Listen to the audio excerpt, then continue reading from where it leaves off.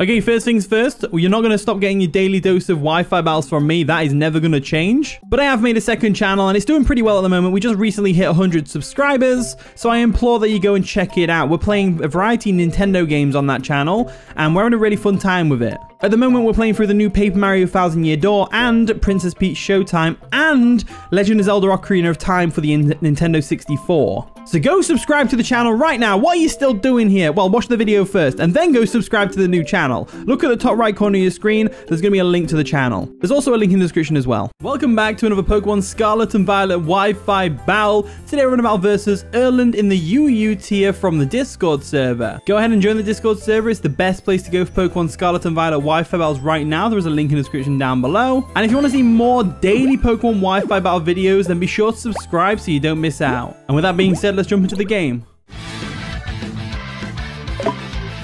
And the battle begins. Good luck, have fun, Erland. So they're going to lead off with Slowking. I did expect the Slowking lead. So I led off with my uh, Pyro, but it's not Pyro, it's actually Zoroark. So you may notice we're bringing Zoroark and Pyro again. I really want to make them work.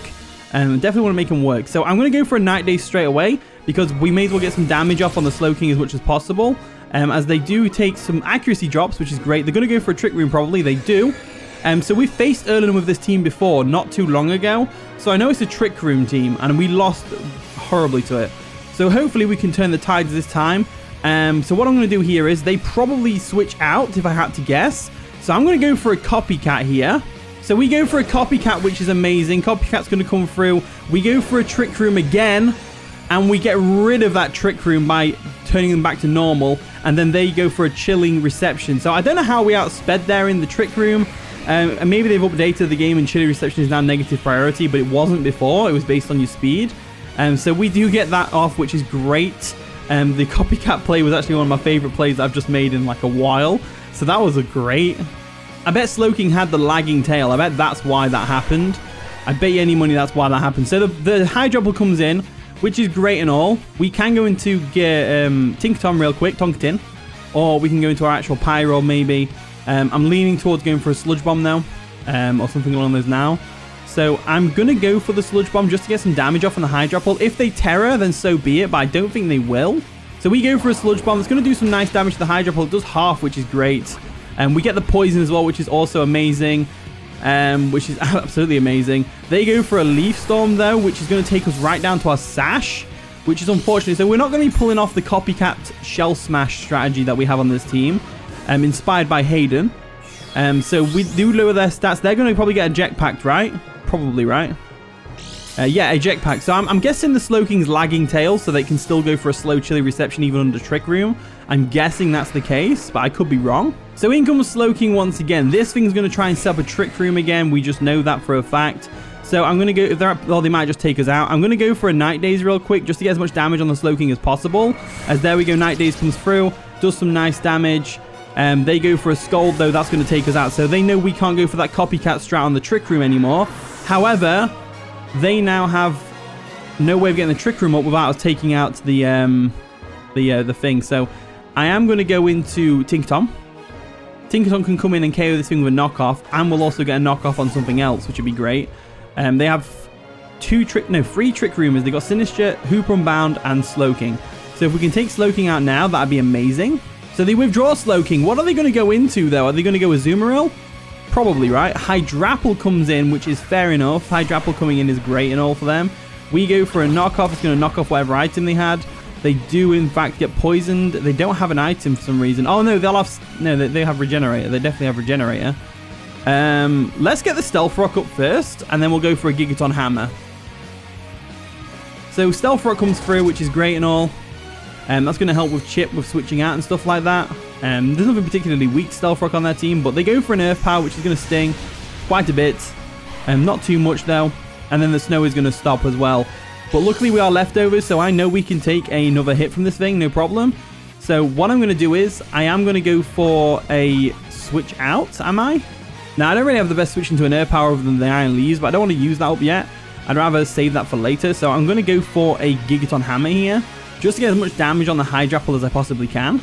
So we go for a Gigaton Hammer on the Hydrapple, which is definitely going to take it down to poison range, as it does. As they go for an Earth Power, which shouldn't take us out. We do live on 2 HP, which is great. And then they're going to get hurt by the poison this next turn, which is also amazing. So we get our leftovers recovery, and then they go down to poison, which is fantastic. So we made the first KO on the Hydrapple, and that's one of the big threats in Trick Room that they have on their team. Um, so we definitely want to, you know, take care of that. In comes Sinistcha. So this is another Trick Room setter. It's going to get hurt by Stealth Rocks and stuff, which is always nice.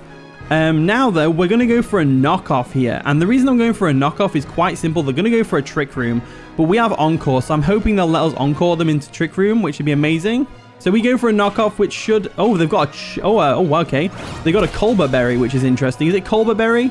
So that Colbur Berry weakens our knockoff, and then we can't even knock off an item. So Trick Room comes through, which is all great and stuff um, for them. Not for us. Um, so we get leftovers recovery. Now, here's the thing that Ursaluna is a big threat. It's a very big threat. Um, Zoroark did really well this game, by the way. Um, so now I'm going to try and encore them, but they probably switch out. So I'm going to go for a Gigaton Hammer, or they take us out of a Shadow Ball. It's either or. So they withdraw Sinistcha. What are they going to go into to take in a, Gigaton Hammer? Is it going to be the Ursaluna? Azumarill. Azumarill's not going to take this too well. It'll probably take it, like, but it won't take it too well. Gigaton Hammer is a base 160 move after all, and it's stab. So we go for it. It does a clean 50%, which is amazing. And then we get our leftovers recovery, so that's all good. Um, the problem we've got is this thing's banded. We need to see what they lock themselves into, so we need to sack something off. I am leaning towards the Blastoise switch. They may predict this, though. Um, and But I think we just let Tinkaton go down here. I would like to knock off if I can. They go for a play rough, though. I'm glad we didn't go into Blastoise there. Blastoise probably 2 KO'd by that, so Tonkatin does go down, which is unfortunate. Um, and the way we're going to beat the Ursaluna is by Tera Steeling with Conkeldurr. So now that we know they're locked in, we can safely switch into Mufasa here. Like so. And we get that Nerve, which makes them so they can't eat berries. Would have been useful against that Sinistcha. Now what? Do we go for a Hyper Voice? Because Trick Room is going to wear off soon, right? Two more turns. Two more turns of Trick Room. Do we waste it now? Or do we... Hmm. I think they're going to switch, so I'm going to go for a Fire Blast. They do withdraw the Azumarill, as you would expect, because they are banded. You can tell they're banded by the damage it did to... Well, I, I just remember it from the last time we battled. So, Hoopa comes in, which is going to not appreciate the Fire Blast too much. We go for said Fire Blast, and it's going to do a decent chunk of damage. A decent chunk of damage. Um, so now what? Uh, this thing is probably going to attack us with some sort of Psychic type move. Maybe. Um, can we take it? I think we can. I think we can take a hit from this thing, so I'm going to go for Hyper Voice. Um, they go for the Hyperspace Fury. Can we live that?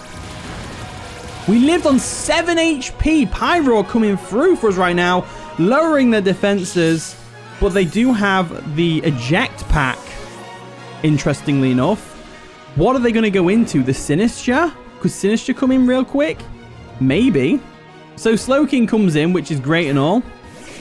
And um, we go for a Hyper Voice on the Slowking, we're going to get a Throat Spray boost, which is great.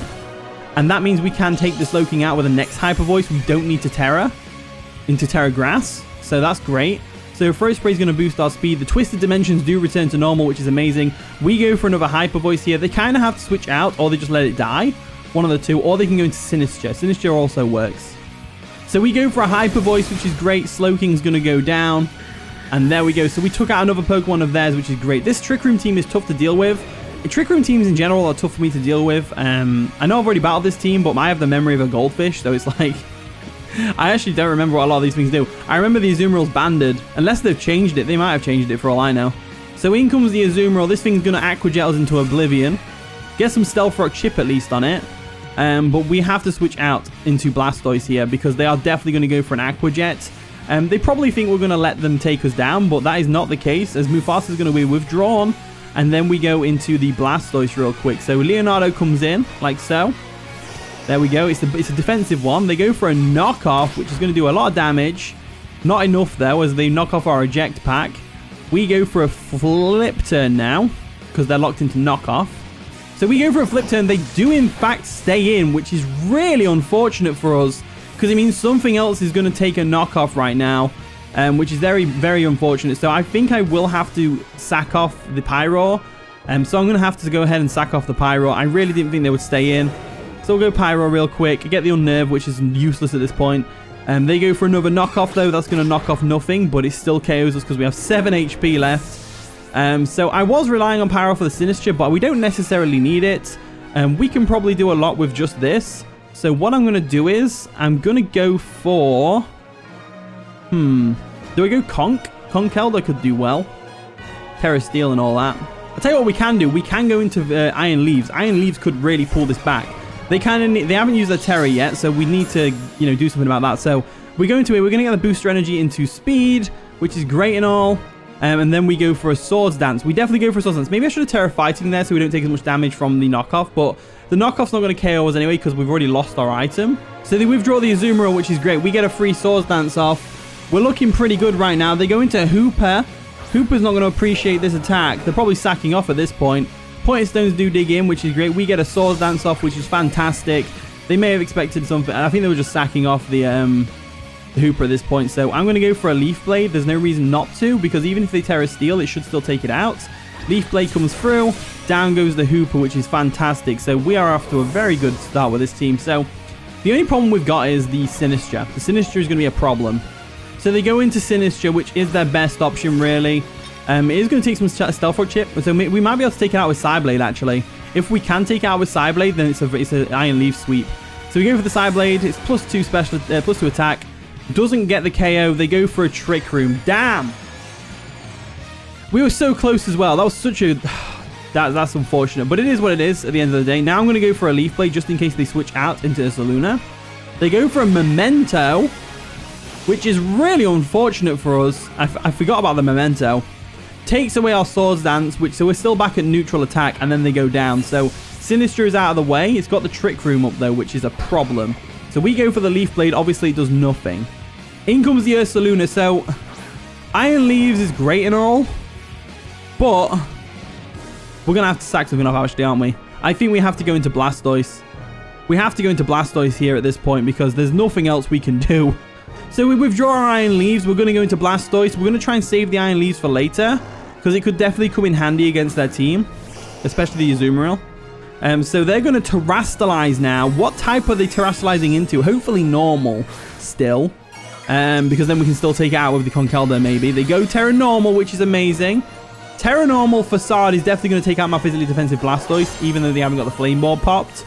Um, I think. So they go for a Fire Punch, which isn't going to take us out but they do get the burn. So this is good though, because it means we're stalling out the Trick Room turns. So now we go for a body press just in case we live, which I know we don't live.